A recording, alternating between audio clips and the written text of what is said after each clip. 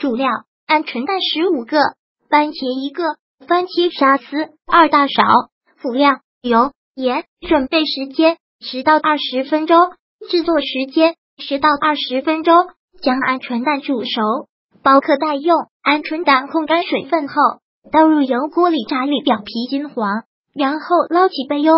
番茄去皮切小丁，然后倒入油锅里翻炒至起沙，再倒入二汤匙番茄沙司，倒入炸好的鹌鹑蛋，煮至汤汁浓稠，再加适量盐，撒上葱花，起锅开吃喽。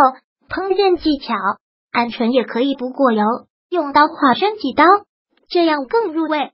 如果喜欢本视频，请分享并订阅本频道，访问 T T News 点 X Y Z 获取更多相关资讯。